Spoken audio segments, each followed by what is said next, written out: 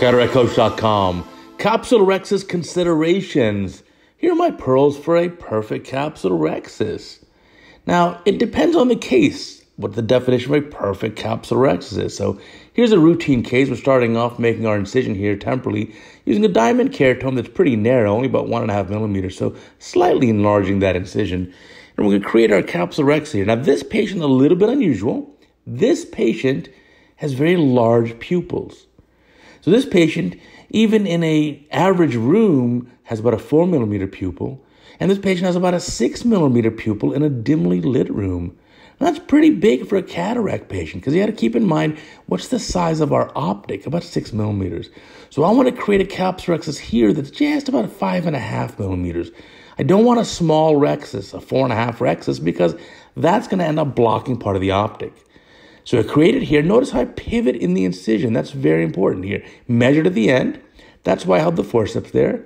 And here comes the end of the case. We'll inflate the bag with our viscoelastic and I'll put the lens in. You can see it's a pretty good looking rhexis. And so I'm using the marks on my forceps. You don't have to use my forceps. Now, if you're going to ask which forceps I'm using, don't ask me. Go to cataractcoach.com, click on the About section. You can see all about me, including all my instruments that I use. Don't post a comment here.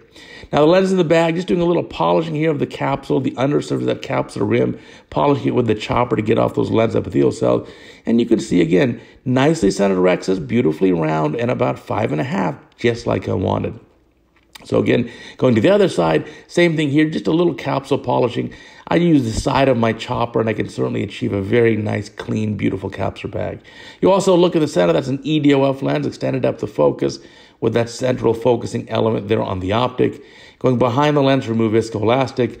So in a case like this, I want to measure out the rhexis and the marks on my forceps are two and a half and five millimeters on the tip. So I want to create this five and a half rhexis just slightly bigger than those marks on my forceps. And I want to keep it centered. One of my tricks for centration is lining up those Purkinje images. And again, with this EDOF lens, you also want those Purkinje images lined up. You see the first and fourth Purkinje images there. We need to get those lined up and make sure they're right in that central focusing optic here of that lens. And so that the, the one in the top is this, the smaller one is the first Purkinje image, and this reflection, the large one, is the fourth. You see a little bit of the other Purkinje images as well there. And again, that lens is very nicely lined up. There it is. And then the optic there is very nicely centered. That's going to be ideal for this patient. And the patient's very happy. Now let's look at another case. This is another case. It's actually the case that I showed you yesterday, but we're going to go show you here in regular speed and normal speed here. And I'm going to show you putting in viscoelastic to slowly inflate the eye, get out the trypan, and now look at the capsule. I'm judging how elastic it, how, how pressurized is that capsule bag. And luckily in this case, not all that pressurized.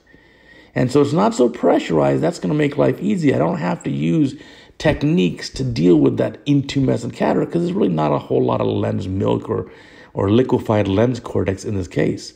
So here we'll make our incision as well.